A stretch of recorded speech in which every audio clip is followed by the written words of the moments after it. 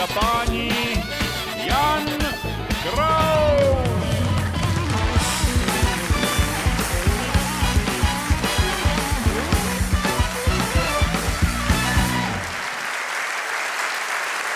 Děkuji, dobrý večer.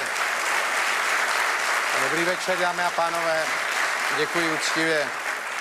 Hitem týdne byly mobilní data, tedy zejména jejich ceny, jak jste si jistě všimli, protože to je věc, která se dotýká každého z nás. Máme nejdražší v Evropě, čili žijeme tady v luxusu. Je to o to pozoruhodnější, že člověk vždycky přemýšlí na tom, že si sami sobě dáváme nejvyšší ceny.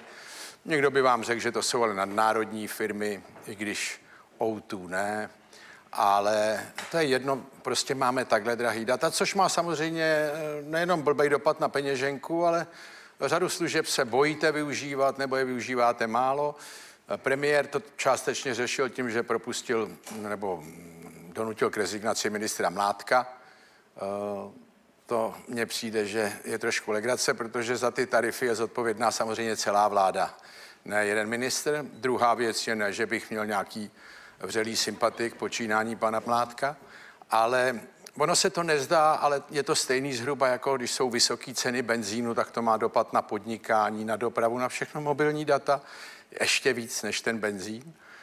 A ještě mě to trošku vždycky pobuřuje, že jsme takový jako zaostalí, protože pak se podívám na ty tarify, co jsou v okolí, anebo mě volá známý ze Spojených států, že si za 50 dolarů koupil neomezený data a zadarmo telefony sem do Česka jako po celém světě, včetně Česka, jsem si říkal, že bych si zřídil účet ve Spojených státech.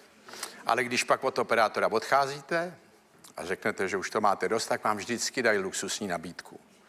Že vám to sníží na polovinu, zadarmo telefon a ještě vám přijdou pokolíbat dítě. E, ale při odchodu, banky podobně, to je nějaký český zlozvyk a já na ně vždycky křičím, ne, to jste mě měli nabídnout, když jsem byl u vás ne, když jdu od vás. Druhá věc, dočet jsem se, že budeme stavět, přátelé, 12 nabíjecích stanic pro elektromobily.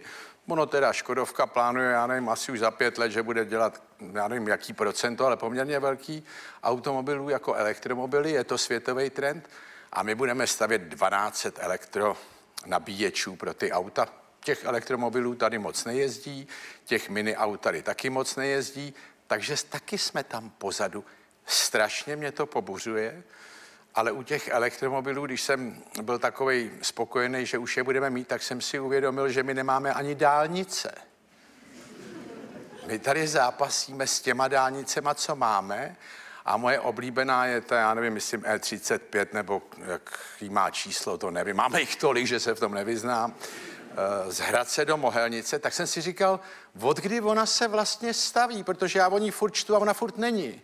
A pak čtu problémy s eh, dálnicí E35, pak čtu, že to bylo vyřešeno, pak čtu, že to nebude dálnice, jenom rychlostní silnice, že prý to stačí, pak ne, to by byl omyl, místo rychlostní silnice to bude dálnice.